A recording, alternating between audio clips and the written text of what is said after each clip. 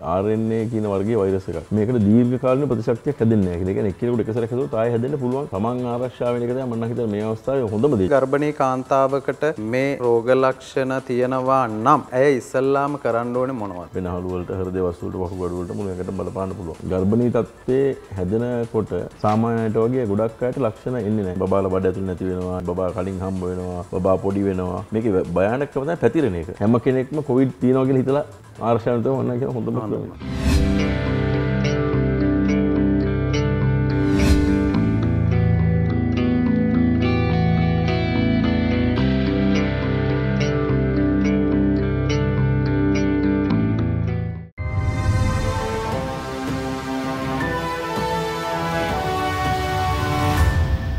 BOG ප්‍රසව හා නාරිවේද විශේෂඥ වෛද්‍ය හමුව. ඉතින් අ, අපි අ, සති ගණනාවක් තිස්සේ අ, කාන්තාවන්ට ගර්භණී විශේෂයෙන් ගර්භණී කාන්තාවන්ට අ, විශේෂිත වූ මාතෘකා ගණනාවක් කතා කරගෙන ආවා අපේ වැඩසටහන් මාලාව ඇතුලේ. ඉතින් අද දවසේ අපි අ, මේ වෙලාවේ ඉතාම වැදගත් මාතෘකාවක් කතා කරන්න බලාපොරොත්තු වෙන්නේ මම හිතන්නේ කොරෝනා තත්ත්වය සහ කොවිඩ් කිව්වහම අපිට ලංකාවට විතරක් නෙමෙයි මුළු ලෝකෙටම මේ වෙලාවේ ප්‍රශ්නයක් වෙලා තියෙන අ, ප්‍රශ්නයක්. ඉතින් අ, මේකත් එක්ක අපි කොහොමද අපේ කාන්තාවට එහෙමත් නැත්නම් අ, එක පැත්තකින් ගර්භණී කාන්තාවට විශේෂයෙන්ම මේ තත්ත්වය බලපාන්නේ කියලා කතා කරන්න තමයි අපි බලාපොරොත්තු වෙන්නේ. ඉතින් වෙනද වගේම අදත් අ, අපිත් එක්ක මේ දැනුම අ, බෙදා හදා ගන්නට ඉන්නේ අපේ පොළොන්නරුව දිස්ත්‍රික් මහරෝහලේ විශේෂඥ වෛද්‍යවරයා අ, ඩොක්ටර් ජගත් එන් හේරත්. ආයුබෝවන් ඩොක්ටර්. ආයෙ වෙනස. ඩොක්ටර් කොහොමද දැන් මේක ගැන විවිධ කතා යනවා රෝග ලක්ෂණ සම්බන්ධයෙන් මේක පැතිර යන විදිහ සම්බන්ධයෙන් අපිට අහන්න දකින්න හම්බෙනවා කොරෝනා එක එක හැඩයන් එනවා එකට එක එක ප්‍රභේද අ, එනවා ඒ විතරක් නෙමෙයි මේකේ අ, තත්ත්වය වෙනස් වෙනවා සමහර රටවල් වලට හැදිච්ච කට්ටියට මහා දරුණු විදිහට බලපානවා මේ වගේ එක කතා තියෙනවා එතකොට අපි කොතනින්ද පටන් ගන්නෙ කොරෝනා කියන තත්ත්වය මේ වෙලාවේ චන්දු කොහොමත් දැන් මේ මේ මේ ලෙඩේ අපි දැන් දැනගෙන අවුරුද්දක්වත් නැහැ. ඉතින් ඒක මේක ගැන දැනීම අපේ අල්පයි. අපේ ලෝකෙත් එහෙම අල්පයි. දැන් අ, මේක අපි RNA කියන වර්ගයේ වෛරස් එකක්. RNA වෛරස් එක හැඩේ නිතර වෙනස් කරගන්න මාදිලිය. ඒකට ඒකට බේතක් හොයන්න අමාරුයි. එහෙම දැන් මේ AIDS වලටත් වෙලා තියෙන එක නෙවෙයි. බේතක් හොයනවා. ඒකත් RNA වෛරස් එකක් නිසා. ඒ වගේම මේක ගොඩක් අර ශීඝ්‍රයෙන් පැතිරෙනවා. ඉන්ෆෙක්ටිවිටි වැඩි කියලා අපි ඉංග්‍රීසියෙන් කියනවා. කියන්නේ ශීඝ්‍රයෙන් බෝ වෙනවා. ඉතින් ඒකත් ඒ- ඒක ලොකු ප්‍රශ්නයක්. ඊට අමතරව මේ මේකට බේතක් තාම නෑ හොයාගෙන දැන් එක රට වැක්සින් හොයාගත්තකොට තාම සක්- සාර්ථක වෙලා නෑ වැක්සින් දැන් දැනුත් හොයාගෙන තියෙනවා මේ මේකට දීර්ඝ කාලින ප්‍රතිශක්තියක් හැදෙන්නේ නැහැ කියලා. ඒ කියන්නේ එක්කෙනෙකුට එක සැරයක් හැදුවොත් ආයෙ හැදෙන්න පුළුවන් කියන ප්‍රවණතාවය තියෙනවා. ලෝකයේ දැන් මේ පැතිර යන තත්ත්වයක් එක්ක මේකේ අපිට නිතරම අහන්න දකින අ, කොටසේ ප්‍රධානම කෑල්ලක් තමයි මෙයින් ආරක්ෂා වීමට කියලා ඉවරලා අ, වෙන් කරොත් අ, වයස අවුරුදු 60ට වැඩි වැඩිහිටියන් කුඩා ළමුන් සහ ගර්භණී කාන්තාවත් මේ කාණ්ඩයට වැටෙනවාද? විශේෂයෙන්ම අපි සඳහන් කරන්නේ වයසක වැඩි කට්ටිය දැන් කිව්වා වගේ සහ වෙන වෙන ලෙඩ තියෙන කට්ටිය කියන්නේ දියවැඩියාව අ, පෙනහළු රෝග දුම් බොන කට්ටිය ඒ කට්ටියට මේක හැදුවොත් සංකුලතාව වැඩි. ඉතින් ගර්භණී තත්ත්වය අර විශේෂ අවස්ථාවක් නිසා ඒක හැදුනහම විශේෂ ක්‍රියාමාර්ග ගන්න ඕන මිසක් විශේෂයෙන් අපි මේකට ලොකු අවධානමක් තියෙනවා කියලා දැනට මේ දත්ත නැහැ අපි හොයාගෙන. කොහොමද ඩොක්ටර් අපි ගර්භණී කාන්තාව සහ කොරෝනා තත්ත්වය අතර තියෙන ඕ ඒකේ කාරණා කීපයක් තියෙනවා චන්දු ගන්න. එකක් තමයි ගර්භණී තත්ත්වයේ හැදෙනකොට සාමාන්‍යයට වගේ ගොඩක් අයට ලක්ෂණ එන්නේ නැහැ. අපි කියනවා ඒසිම්ප්ටොමැටික් කියලා. එයාලට උණ ඒ සාමාන්‍ය ලක්ෂණ එන්නේ නැහැ. ගොඩක් අයට. ඉතින් එතකොට ඒතකොට අවදානම බෝ වෙන්න වැඩි. මොකද එයා දන්නේ එයාට ලක් තියෙනවා කියලා. එයා තැන් තැන් වල ගියාම අනිකට බෝ වෙන්න පුළුවන්. ඊට අමතරව ප්‍රධාන අ, ලක්ෂණ තමයි මේකේ තියෙන මේ උණ එන්න පුළුවන්. කැස්ස එන්න පුළුවන්. උගුරේ දෙන්න පුළුවන්. එතකොට හුස්ම ගන්න අපහසු වෙන්න පුළුවන්. සහ ඇඟපත රිදෙන්න පුළුවන් සාමාන්‍ය උණක් හැදුනහම හිම්බිරිස හැදුනහම තියෙන ලක්ෂණ පොදු වෛරස් ලෙඩක් නිසා. ඉතින් ඒ වගේ ලක්ෂණ තමයි තියෙන්නේ. නමුත් ගොඩක් වෙලාවට සමහර අයට ලක්ෂණ නැහැ. දැන් අර කිව්වා වගේ. කැස්ස උණ ඊට පස්සේ උගුරේ වේදනාව මේ වගේ ලක්ෂණ පෙන්눔 කරන්නේ නැතුව මේ වෛරසය ආසාදනය වෙලා තියෙනවා නම් ඒක දැනගන්න වෙන විදිහක් නැද්ද? දැන් ලංකාවේ තුලා තියෙන එක තමයි ගොඩක් අයට දැන් ලක්ෂණ නැතුවනේ බෝ වෙලා තියෙන දන්නේ නැතුව. වතුර කලාතුරකින් අර එක්කෙනෙක් ලක්ෂණ එක හම්බුන ගමන් ඉතින් තමයි දැනගත්තේ. ඊට පස්සේ හොයාගෙන හොයාගෙන යනකොට ඔක්කොම ටික අහු වෙනවා ගොඩක් අයට ලක්ෂණ නැහැ. ලක්ෂණ නැතිකම හරි භයානක තත්ත්වයක්. එතකොට අපේ ගර්භණී කාන්තාවන් විශේෂයෙන්ම මේකෙන් ආරක්ෂා විය යුතුයි. ඒ ආරක්ෂා කිරීමේ වගකීම පවුලේ ඔබටත් ඒ වගේම හිතවත් ඔබටත් මේ සමාජයේ සියලුම වකිය යුතු අයට මේ වගකීම එහ පිටිම තියෙනවා. චන්ද දැන් විශේෂෙන් කියන්න ඒ නිසා බේතකුත් නෑ අද දැන් ඔය වගේ ලක්ෂණ පෙන්නුම් කරන තියත් සමාජ ඉන්නවා. ඉති ඒක නිසා දැන් ඔය හැමවෙලාම රේඩිය එක අපි කියන උපදෙස් පිළිපදිනක දැන් මම හිතන්නේ හොඳම දේ. කියන්නේ ප්‍රිවෙන්ෂන්. ප්‍රිවෙන්ෂන්. ඒ කියන්නේ මුඛාවරණ පළඳින්න. එතකොට තැනකට නිකන් සමදලා අත හොද ගන්න. සල්ලි අල්ලනකොට ඔරලෝසු වලින් තියෙන පුළුවන් කියලා තියෙන ප්‍රශ්න මත පය ගන්න තියෙන පුළුවන් එහෙම කියලා කියනකොට ඒක නිසා දුරස්ත භාවයේ තියාගන්න. ඉතින් එහෙම නැතුව තමන් ආරක්ෂා වෙන එක තමයි මම හිතන්නේ මේ අවස්ථාවේ හොඳම දේ චන්දු. කියන්නේ ප්‍රෙග්නන්ට් ගර්භණී අවස්ථාව කියලා විශේෂයක් නෙමෙයි. හැමෝම මේ ලෙඩෙන් ආරක්ෂා වෙන හොඳම දේ තමයි ප්‍රිවෙන්ෂන් කියන්නේ. හැම කෙනෙක්ම කොවිඩ් තියෙනවා කියලා හිතලා ආරක්ෂා වෙන තමයි මම කියන හොඳම ඔව්. යම් කිසි විදිහකට ගර්භණී කාන්තාවකට මේ කියන රෝග ලක්ෂණ තියෙනවා නම් ඇය ඉස්සල්ලාම කරන්න ඕනේ මොනවද? ඔව් ඒක හොඳම ප්‍රශ්නයක් චන්දු. මොකද දන්න දැන් මේක බලන හැමෝටම තියෙන ප්‍රශ්න තමයි මම මොකද කරන්න හැදුනොත් කියන එක. දැන් අපි හිතමු ප්‍රෙග්නන්ට් අම්ම බබෙක් හම්බෙන අම්ම කෙනෙකුට කැස්ස එහෙම බිරිසා වුණ මේ කියන ලක්ෂණ පොඩ්ඩක් තියෙනවා. එතකොට එයා මොකද කරන්න ඕනේ? කරන්න ඕන දේ ඩොක්ටර් කෙනෙක් හම්බෙන්න ඕනේ. කොයි ස්පිතාලේ යන්න ඕනේ. නමුත් ඊට කලින් වැදගත් දෙයක් තියෙනවා. එයාට පුළුවන් සමාජ සේවක විදිහට ටෙලිෆෝන් කරලා එක්කෝ එයාගේ වියෝජිත ටෙලිෆෝන් නම්බරේ තියෙනවා. එහෙම නැත්නම් එයා පවුලේ දොස්තරව අපි කියන පවුලේ වෛද්‍යවරයා වෛද්‍යවරයාට කෝල් කරන්න. එහෙම නැත්නම් එම්මෝෂ ඩොක්ටර්ට. එහෙම නැත්නම් PHI මහත්තයාට. එහෙම නැත්නම් මිඩ්වයිෆ් නෝනාට. එක්කෝ ඕනම ස්පිතාලෙක OPD කෝල් කරලා කරන්නත් පුළුවන්. හැම ස්පිතාලෙම OPD එකේ නම්බරයක් තියෙනවා. කෝල් කරලා ඩොක්ටර් මට මෙහෙම ලක්ෂණ තියෙනවා. මම මොකද කරන්න කියලා අහන්න.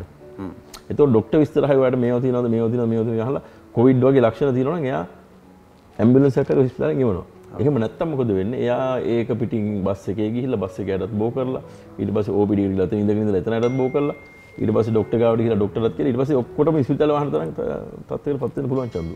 ඉතින් ඒක නිසා පළවෙනිම මේ වැදගත්ම පණිවිඩය මම හිතන්නේ මේ වැඩසටහනේ එහෙම ලක්ෂණ තියෙන දැන් මේ ලක්ෂණ අපි කියවනේ උණ තියෙනවා කැස්ස තියෙනවා හෙම්බිරිස ගතිය තියෙනවා උගුර දෙනවා එහෙමනම් ටෙලිෆෝන් කෝල් එක දීලා ගෙදර ඉඳලා අර දැන් වලට කියන්නේ එහෙම කියන්න බැරි වුණොත් හදිසියවත් බැරි වුණොත් කියමුකෝ කාට කොයි කන්ටැක්ට් කරන්න බැරි.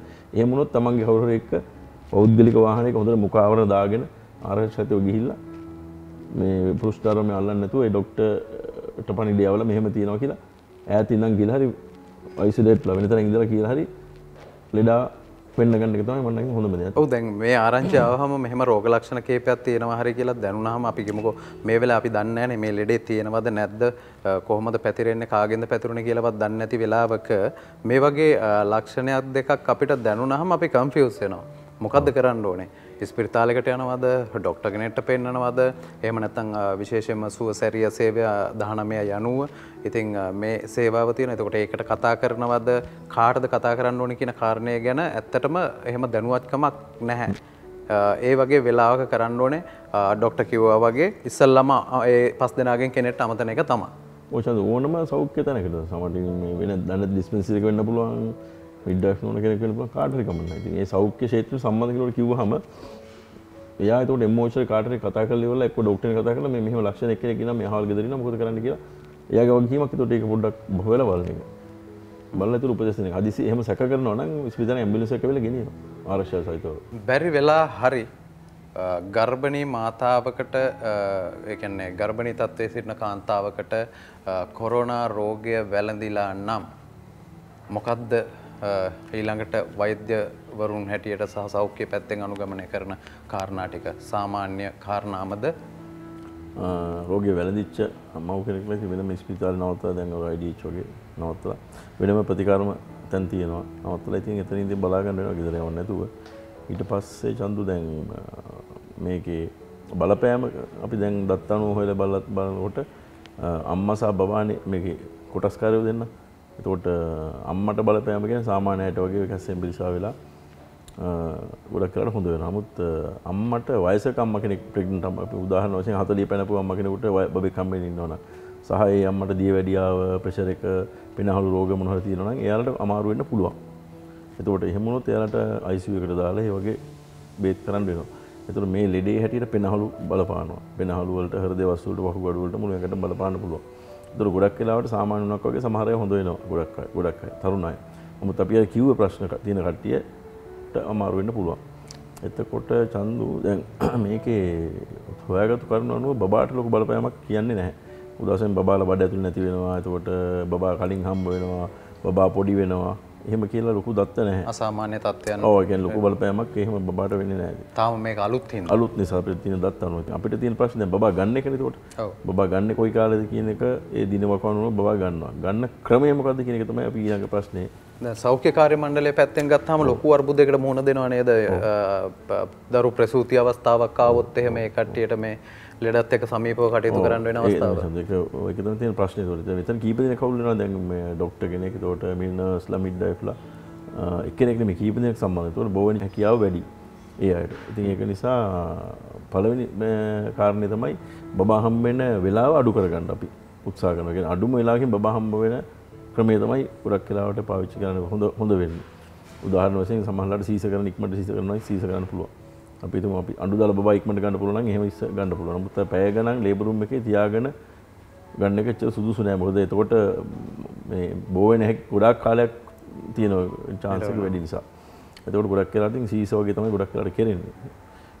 එතකොට කරන්න තියෙන්නේ වෙනම යුනිට් එකක වෙනම කාර්ය මණ්ඩලය සකස් වෙනවා. අපි කියන PP කිට් කියලා. ඒ කියන්නේ වෙනම මූණු ආවරණ ඇඟට ඇඟ වහගන්න ඇඳුම් ඔක්කොම දාගෙන සීස කරනවා එහෙම අ, බබා නෝමල් ගන්නවා නම් එහෙම ඒ විදිහට ආරක්ෂිතව කරන්න වෙනවා. ඒක අපි ඒක ඒක ආරක්ෂ ඇඳුම් ඇඳගෙන තමයි කරන්න වෙන්නේ. ඉතින් සාමාන්‍ය ලේබර් රූම් එක කරන්නේ නැහැ මේක. මේ ලෙඩේ තාම අලුත් මේකට තාම ප්‍රතිකාර හොයාගෙන යනවා තාම හොයමින් ඉන්නවා රෝගයේ තත්ත්වය පිළිබඳව හොයනවා.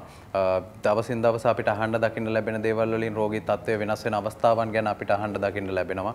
අ, එක එක රටවල් වලට බලපාන විදිහ ද- අ, වෙනස් කියන එක අහන්න දකින්න ලැබෙනවා. නමුත් මේක තාමත් හරියට ස්ථීර තැනකට ආපු නැති තත්ත්වයක්. ඒක නිසා අ, ගර්භණී කාන්තාවන් විශේෂයෙන්ම ආරක්ෂා වෙන්න ආරක්ෂා කරගන්න ඒක තමයි අ, මේකේ තියෙන අ, ප්‍රධානම දේ රජය මගින් දෙන අ, ක්‍රමවේදයන් අ, හරි හැටි නිසියාකාරව පිළිපදින්න හුරු වෙන්න පුරුදු වෙන්න ඒක පිළිපදින්න කරුණු සංගවන්න නැතුව කියන්න ඕන කියලා. දැන් ආගිය තැන් ආශ්‍රය කරපු අය සහ මොකද ඒක අපිට බෝ රෝගය පැතිරීම වළක්ව ගන්න ඉතාම වැදගත් වෙනවා. ඒක නිසා ඒවා නොසඟවා මේ කියන්න අනිත් එක එහෙම අසනීපයක් තමයි තියෙනවා නම් අර අපි කිව්වේ දැන් කිව්වේ වැදගත්ම දේ තමයි. ටෙලිෆෝන් කෝල් එකක් දීලා අදාළ තැන්වල දැනුවත් කරලා එයාලා කියන විදිහට වැඩේ කරන්න. එහෙම නැත්නම් බැරිම වුණොත් තමන්ගේ පෞද්ගලික වාහනයක තව එක්කෙනෙක් එක්ක විතරක් අර මූණු ආවර දාගෙන පරිස්සමින් ස්පිතාලේ හරි කොහරි බැරිම අවස්ථාවක් යනවා. හොඳම දේ තමයි ටෙලිෆෝන් කෝල් එකකින් මම නම් හිතන්නේ ගොඩක් වෙලාවට අපේ කට්ටිය වැඩ කරන ඉමෝෂනල් ගොඩාක් අය ඉන්නවනේ. එහෙම නිසා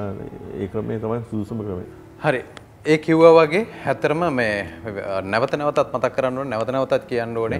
මේ සම්බන්ධව යම් කිසි හේකින් ඔබට රෝග ලක්ෂණ තිබෙනවා නම් ડોක්ටර් කිව්වා වගේ අර අපි සඳහන් කරපු පස් දෙනාව අමතන්න දුරකථනයේ ඔවුන් දෙන උපදෙස් පිළිපදින්න රජයෙන් දෙන පණිවිඩ රජයෙන් දෙන උපදෙස් නිරන්තරයෙන්ම පිළිපදින්න. මේක වළක්වා ගන්නට අපි හැම වෙලේම ටීවී එකකින් රූපවාහිනියෙන් ගුවන් විදුලියෙන් මේ සියල්ලගෙන්ම දකින අ, කාරණය තමයි දෑත් සෝදන්න දෑත් පිරිසුදු කරන්න මේ දෑත් වලින් ඔබගේ මුහුණ ස්පර්ශ කරන්න එපා හැම වෙලේම මුඛාවරණයක් පළඳින්න. මේ කාරණා ඊටාම ඕනෑකමින් කරන්න වග බලා ගන්න. මේ සමාජයේ ජීවත් වෙන හැම පුරවැසියෙක් හැටියටම අපි හැමෝටම වගකීමක් තියෙනවා මේ වෙලාවේ. අන්න ඒ වගකීම ඉතාම වගකීමෙන් ඉෂ්ට කරන්න සූදානමින් ඉන්න. මොකද මේක පැතිරුණොත් අපිට ඉතාම මීට වඩා ලොකු දරුණු තත්ත්වයක් බවට පත් වෙනවා. අපේ ගර්භණී කාන්තාවන් විතරක් නෙමෙයි අපේ මුළු මහත් සමාජයට මේක ලොකු ප්‍රශ්නයක් වෙන හින්දා මේක පාලනය කරන්න පුළුවන් ඔබට ඔබ ඒක පාලනය කරන්න. හොඳ එහෙමනම් ඩොක්ටර් අපි අද අ, අපේ මේ කතා බහ ඉවර කරන්න දැන් අපි අවසානට ඇවිල්ලා තියෙන්නේ අවසාන වශයෙන් මොකක්ද කියන්න තියෙන්නේ මේක භයානකම තමයි පැතිරෙන එක. මේ ඉක්මනටම පැතිරෙන ටට්ටක් ගාලා. ඉතින් ඒක නිසා ඒක වළක්ව ගන්න මේ Tamanට රෝග ලක්ෂණ තියෙනවා නම් ටෙලිෆෝන් කෝල් එක කරලා එක්කෝ බේත් කරන්න යන්න. ඒ වගේම අර සෞඛ්‍ය ආරක්ෂණ ක්‍රම ඒ විදිහටම පා- පාලනය කරන්න. මොකද මේක ප්‍රිවෙන්ෂන් නිසාම කලින් තමයි මේක නවත්තන්න තියෙන්නේ. බේත් නැති නිසා. ඉතින් මං හිතන්නේ මේ සෞඛ්‍ය උපදෙස් පිළිපදලා මේ ඒ විදිහට කරොත් අපිට මේක ජය ගන්න පුළුවන්. නැත්නම් අපි තාම අසන්නතත්වයටපත් වෙයි මේ මුළු රටම ලෙඩ වුණොත් එහෙම. එමනම් අද දවසේ කතා බහ අපි ඉවර කරන්න බලාපොරොත්තු වෙන්නේ. ඉතින් තවත් මේ වගේම වැදගත් මාතෘකාවක් එක්ක වියෝජී සමගින් හම්බෙන බලාපොරොත්තුවෙන් අපි සමුදිනවා ඩොක්ටර් ගොඩක් ස්තුතියි මේ කාරණයට සම්බන්ධ වෙනවට මේ තොරතුරු බෙදා හදා ගන්නට අපිත් එක්ක සම්බන්ධ වෙනවට. ඒ වගේම තමයි අපි යන මොහොතේ මේ මතක් කරන්න වෙනද වගේම මොහන්දිරම් TV අපේ channel එක subscribe කරන්න YouTube එකේ කමෙන්ට් කරන්න ෂයා කරන්න ඒවගේම ලයික් කරන්න. ඔබගේ කමෙන්ට් එක අපිට ගොඩක් වටිනවා. ඒ ඒ විතරක් නෙමෙයි මේ වැඩසටහනට තව එකතු වෙන්න ඕනේ මොන හරි දෙයක් තියෙනවනම් යෝජනාවක් තියෙනවනම් චෝදනාවක් තියෙනවා මේ සියල්ල අපිට යොමු කරන්න. ඔබගේ VOG සම්බන්ධව තියෙන ගැටලු තියෙනවා නම් ඩොක්ටර්ට යොමු කරලා පිළිතුරු ලබා ගන්න පුළුවන්. එහෙමනම් හමුවෙමු නැවතත් මේ වගේම වැදගත් මාතෘකාවක් සමගින් VOG සමගින් මොහන්දිරම් TV සමගින් හෙතෙක් අපි ඔබට නිරෝගිමත් දිවියක් ප්‍රාර්ථනා කරනවා.